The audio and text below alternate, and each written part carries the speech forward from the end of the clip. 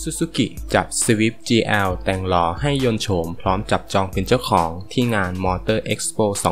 2019 มารอบนี้มีอะไรใหม่บ้าง ก่อนไปรับชมข่าวสารช่วยกดติดตามเพื่อเป็นกำลังใจให้เราด้วยนะครับ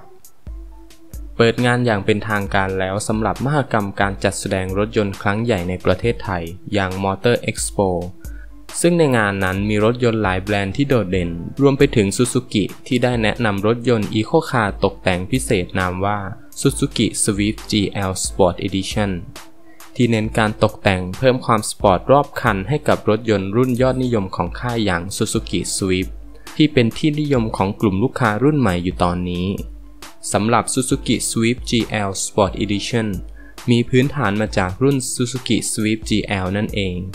มีการนำมาตกแต่งใหม่รอบคันด้วยชุดแต่ง skirt และสปอยเลอร์ด้านหลังสีโทนดำและสติกเกอร์ด้านข้างทำให้ตัวรถมีการตัดกันสองสีในสไตล์ two-tone ดูสปอร์ตมากขึ้น ด้านเครื่องยนต์ก็ยังคงใช้เครื่องยนต์เดิม Dual Jet ที่เป็นเทคโนโลยีหัวฉีดคู่ขนาด 1.2 ลิตร ที่ให้แรงม้าสูงสุดที่ 83 แรงม้า และแรงบิดสูงสุด 108 นิวตันเมตร การตกแต่งภายในนั้นยังคงเหมือนรุ่น GL ทุกอย่างไม่มีอะไรพิเศษเพิ่มเติม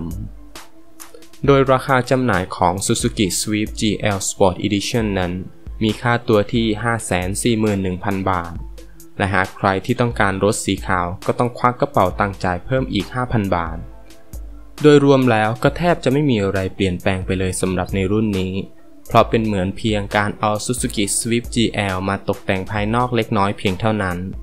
แม้รูปร่างจะไม่โดดเด่นมากสำหรับปีนี้ แต่ที่เด่นกว่ารูปลักษณ์กลับเป็นยอดขายนั่นเอง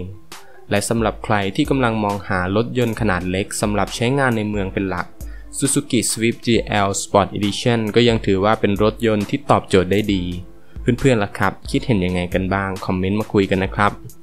และหากชื่นชอบข่าวสารสไตล์นี้อย่าลืมกดไลค์และกดติดตามเพื่อรอรับข่าวสารใหม่ๆกันด้วยนะครับ วันนี้ลาไปก่อนพบกันใหม่คลิปหน้า สวัสดีครับ